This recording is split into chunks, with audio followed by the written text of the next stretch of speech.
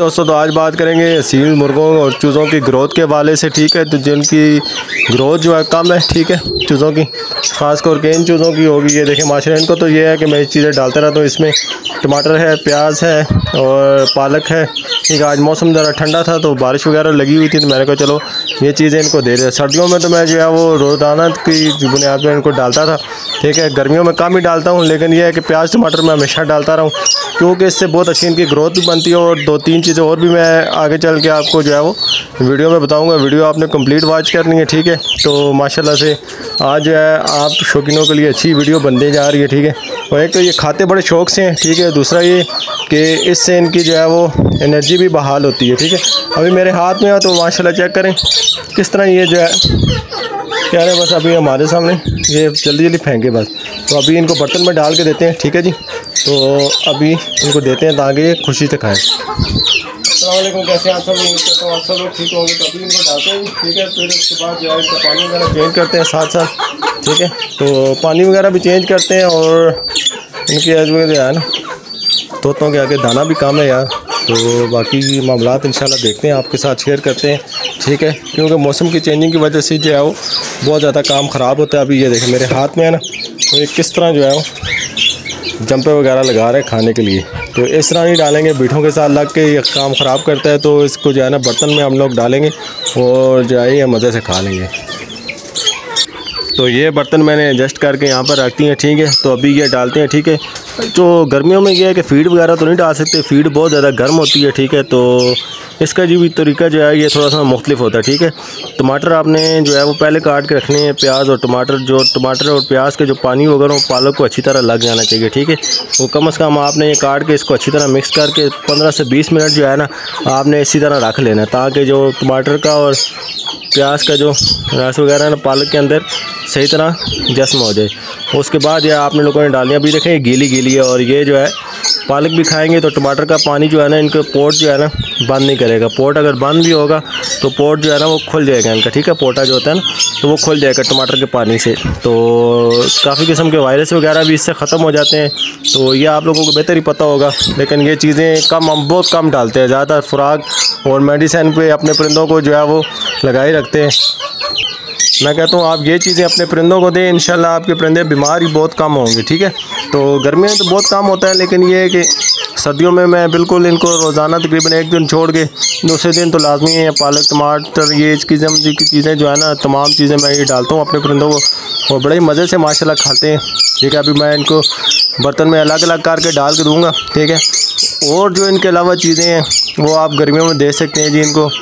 किस्म किस्म का जो फ्रूट्स होता है ठीक है आपके घर में बच जाए फ्रूट्स आप इनको काट के डाल दें तो वो भी आप इनको डाल सकते हैं ठीक है जी? हर किस्म की मतलब है कि जो चीज़ें शौक से खाएँ वो लाजमी आप इनको दें उससे ये कि इनकी ग्रोथ काफ़ी अच्छे तरीके से बढ़ती है। तो काफ़ी जो है हमारे ये वाले जो चूज़े ना अभी आपको मैं बताता हूँ ठीक है इनकी ग्रोथ क्यों नहीं बढ़ी? ये देखें। ये गर्मियों में पैदा हुए थे, ठीक है जी? तो अभी ये तकरीबन दो दो मंथ के हो गए लेकिन इनकी ग्रोथ अभी तक बड़ी नहीं है, उस टाइम जिस बढ़नी चाहिए थी। उसकी वजह ये है कि हम लोग इन्हें फ़ीड डालते रहे सर्दियों में, ठीक है? फ़ीड डालते थे चार नंबर चौदह नंबर और ब्रिक बाजरा मिक्स करके, उससे जो है ना चूज़ों की ग्रोथ बहुत ही ज़बरदस्त बनती है। लेकिन ये मसला होता है कि गर्मियों में हम डाल नहीं सकते, क्योंकि चूज़े जो है वो ज़्यादा हीट अप हो जाते हैं और मरने का ख़तरा होता है। और पानी भी आप अगर फ़ीड के साथ पड़ा रहना चाहिए और फ़ीड खाएँगे, पानी पियेंगे तो इनका जो है ना पोटा जल्दी ख़राब होगा और ये मर जाते हैं। सबसे ज़्यादा मरने की वजूहत यही होती है कि चूज़े जो है ना पानी ज़्यादा पी जाते हैं तो फिर मरने का ख़तरा हो जाता है इनका। उसका हल ये है कि आपने ज़्यादा अपने जिनको आप फ़ीड डालते हैं ना, उनको ज़्यादा आपने पानी नहीं डालना, ठीक है? पानी आपने बहुत कम डालना, बहुत कम से बना तो जब ये खाना खा लें, पानी थोड़ा सा दिया, उठा लिया। ज़्यादा पानी पीते रहेंगे क्योंकि वो गर्म होती है, गर्मियों में इसलिए मैंने दी नहीं है। तो ये चीज़ें मैं देता रहा हूँ। तो माशाल्लाह, इसका ज़बरदस्त रिज़ल्ट है। आप भी दिया करें, ठीक है जी? और बाकी ये है कि साथ साथ इंशाल्लाह जो भी मैं फ़ीड दूँगा, अभी जो मौसम आ गया तकरीबन सर्दियों का। एक महीना रहेगा उसके बाद जो है वो सर्दियाँ स्टार्ट हो जाएँगी। उसके बाद जो है मैं इनको फ़ीड वगैरह भी दूँगा।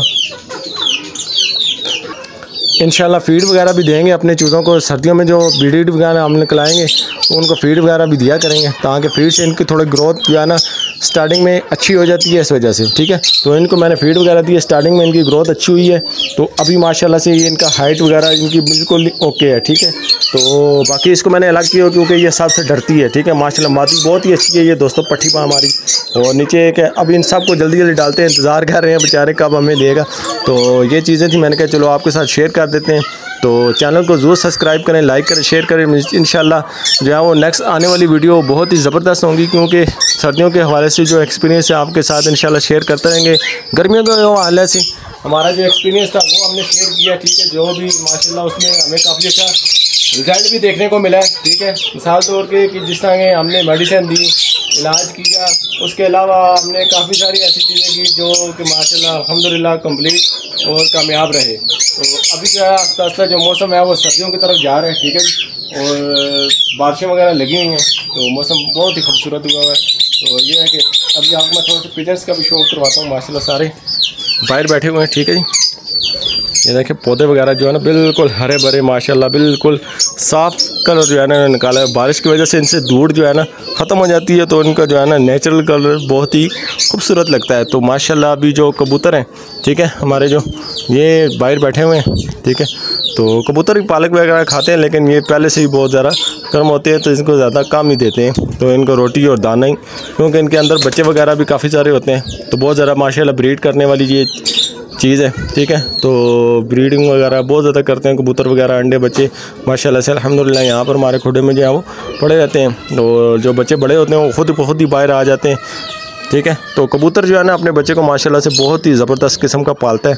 तो मुर्गी जो होती है ना, मुर्गियाँ जो होती हैं, दोस्तों, ये पाँव के नीचे दे दे के ना इनका जो है ना, बिल्कुल ना सत्यानाश किया होता है, अब ये देखें, इस बेचारे को बहुत ज़्यादा इसने पाँव के नीचे दिया ये बिल्कुल ऐसे, जो कमज़ोर हुआ पड़ा हुआ है, बिल्कुल आराम से बैठा हुआ खड़ा हुआ है, सुस्त खड़ा हुआ है।